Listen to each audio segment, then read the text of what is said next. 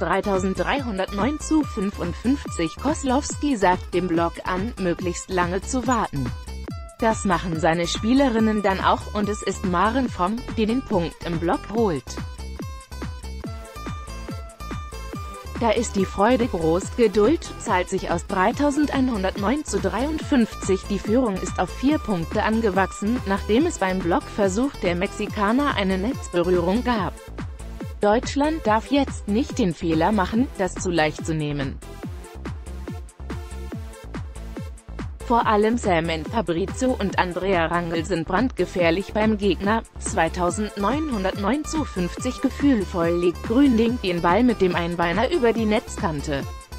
Die Deutschen halten ihren Vorsprung, 2709 zu 47 Salman Fabrizio hat ihren Aufschlag bislang immer durchgezogen, nun entscheidet sie sich zur Abwechslung für den kurzen Trickaufschlag. Der landet jedoch nur im Netz, so dass Deutschland mit 8 zu 5 in die technische Auszeit geht. Das sieht gut aus für die Schmetterlinge in dieser Phase, 2409 zu 44 Denise Hanke kommt immer mehr in Fahrt. Nach schöner Annahme von Jennifer Gertis vollendet Hanke trocken am Netz. Deutschland setzt sich mit drei Punkten ab. 2209 zu 41 Satz 2 beginnt mit einem Sideout für Mexiko, weil Lippmann der Ball verspringt und Hanke dann nicht mehr retten kann. Im nächsten Angriff schlägt Lippmann den Block an und der Ball geht ins Aus. Das ist das 1 zu 1, 2109 zu 39 Fazit 1. Satz ein lange Zeit ausgeglichener erster Satz geht dank eines furiosen Schlussspurts mit 25 zu 19 an, die Deutschen. Der Favorit konnte sich lange nicht absetzen, zwischenzeitlich führte Mexiko mit zwei Punkten Vorsprung. Eine deutliche Steigerung beim Aufschlag und kürzere Ballwechsel brachten die Wende. Darauf kann man im nächsten Satz aufbauen, 2109 zu 37 plötzlich läuft auch der Aufschlag gleich zwei Asse am Stück gelingen Jennifer Gertis. Das sind dann auf einmal fünf Satzbälle am Stück und Maren vom macht mit dem ersten Versuch gleich den Sack zu. 1909 zu 34 Deutschland hat die Partie wieder gedreht und sich nun seinerseits eine Zwei-Punkte-Führung erspielt. Also richtig frisch wirkt das alles noch nicht. Jetzt heißt es erstmal, Satz nach Hause bringen, 1709 zu 30 dabei kann es so einfach sein Annahme Lenker Dirk, die leitet weiter auf Lisa Gründing und deren Zuspiel nach links außen vollendet Luisa Lippmann trocken. Da haben sie das erste Tempo gut ausgenutzt. Sie müssen weiter den Druck erhöhen. 1609 zu 28 Die MexikanerInnen ziehen den Hebel an und nutzen eine Schwächephase der Deutschen für einen Zwei-Punkte-Vorsprung. Koslowski ist nun gefragt, damit seine Spielerinnen wieder in die Spur finden. Momentan ist das zu fehlerhaft, 1309 zu 26 jetzt ist die Challenge mal daneben gegangen. Die Schiedsrichterin entscheidet auf Netzberührung vom deutschen Block, aber keine will etwas gemerkt haben.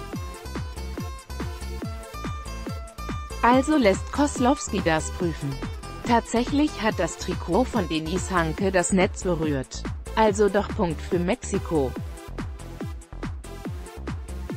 Zweimal darf man in einem Satz bei einer Challenge falsch liegen. 1009 zu 23 Der Gegenpart zu Maren Fromm ist bei Mexiko Andrea Rangel. Sie ist als Kapitän mit gerade einmal 25 Jahren die älteste.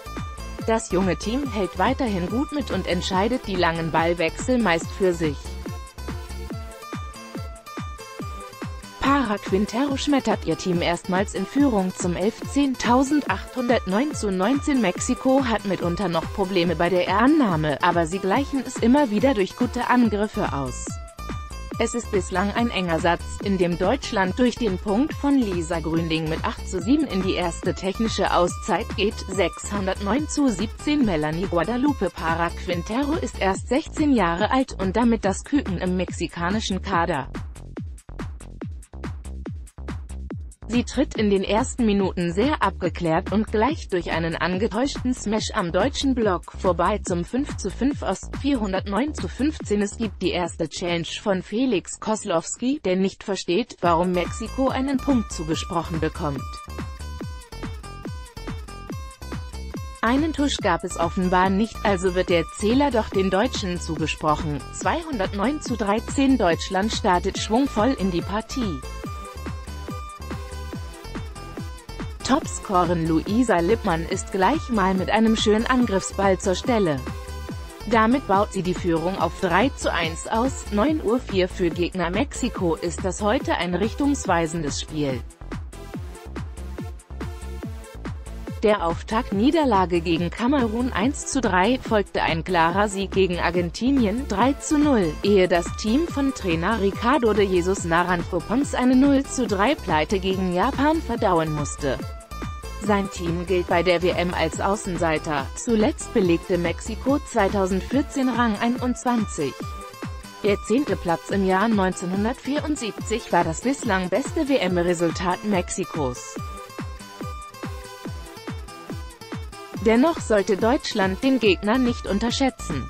8.52 Uhr mit einem Sieg gegen Mexiko und bei optimalem Verlauf kann schon heute oder am 4. Spieltag der Einzug in die nächste Runde perfekt gemacht werden.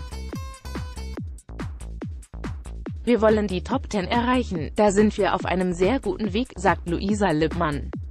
Die Diagonalangreiferin ist absolute Leistungsträgerin im Team und wird nach der WM erstmals im Ausland bei Florenz spielen. Doch ihr Fokus liegt erstmal nur auf dem Turnier. Jetzt ist erstmal die WM in meinem Kopf, die Aufregung kommt wahrscheinlich erst danach, so Lippmann.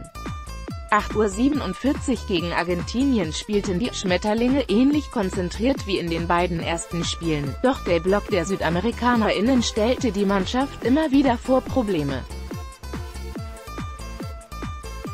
Der zweite Satz war unnötig eng geworden, nachdem Deutschland einen hohen Vorsprung hergegeben hatte. Beide Teams vergaben Satzbälle, ehe Deutschland die achte Chance nutze. Da kam es den Deutschen gerade recht, dass es im Anschluss einen Ruhetag gab.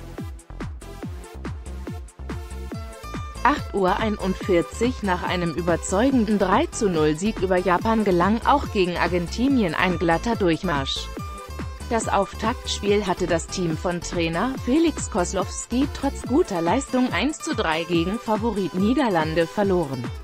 Aktuell liegt Deutschland damit auf Rang 3 hinter Oranje und Gastgeber Japan. Bis zu diesem Zeitpunkt können wir mit unseren Auftritten sehr zufrieden sein, sagte Kapitänin Maren vom 8.33 Uhr Hallo und willkommen aus Yokohama. Bei der Volleyball-WM der Damen steht der dritte Spieltag in der Gruppenphase an. Deutschland bekommt es in der Gruppe A mit Mexiko zu tun. Los geht es um 9 Uhr deutscher Zeit.